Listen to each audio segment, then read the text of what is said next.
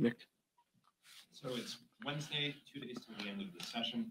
The last day that you guys can force for consideration of the privileged censure resolutions for George Santos and Marjorie Taylor Greene. Do you support them coming to the floor this week? Uh, I haven't talked to the the author of uh, the Marjorie Taylor Greene uh, resolution uh, to Representative Becca Balint about her intentions. Um, uh, what I will say is that there is a process. House Democrats have stood and said uh, George Santos does not belong in Congress. Um, the Ethics Committee had uh, 60 days. 60 days has come and gone. Um, uh, we await uh, the product of of their work.